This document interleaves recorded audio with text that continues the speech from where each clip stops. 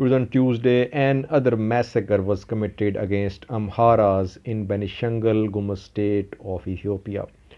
Uh, in Metekel district of Benishangul Gumuz, a locality, Daleti, was attacked, viewers. Amharas were targeted.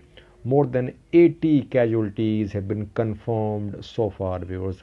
Attackers were armed with uh, guns, knives, and machetes, viewers. Uh, and among the killed, uh, there are children, women. Uh, it was a horrific massacre, viewers. This is the second massacre in Benishangul Gumuz in the last few days. First, we saw on 23rd of December that a similar massacre was committed against uh, Amharas more than 200 people were killed on the 23rd of December. Then viewers, on Tuesday, more than 80 casualties have been confirmed so far. Most of the killed are Amharas viewers and reportedly the attackers were Gumuz. Though uh, still uh, details are coming, but eyewitnesses claim that uh, the attackers were Gumuz uh, ethnic people.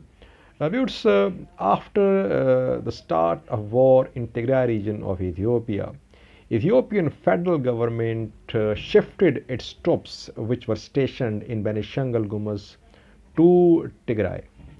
These troops were uh, maintaining law and order in Benishangul Gumuz state of Ethiopia but the troops were diverted to Tigray conflict. After that, we saw that two large-scale massacres have happened in Benishangul Gumuz.